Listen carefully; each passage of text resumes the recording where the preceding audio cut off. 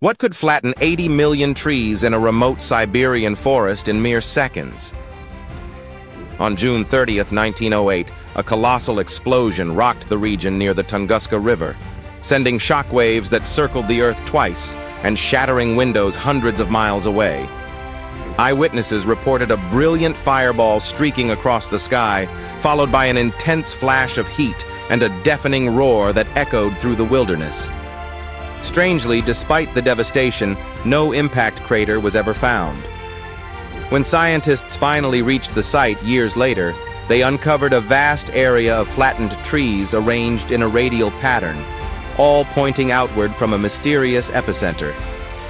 The prevailing theory suggests that a cosmic object, likely a stony meteoroid, entered Earth's atmosphere and exploded mid-air with an energy release estimated at 10 to 15 megatons of TNT, surpassing the power of the Hiroshima atomic bomb.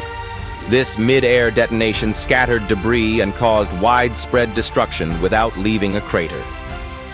The Tunguska event remains one of the largest explosions in recorded history not caused by human activity.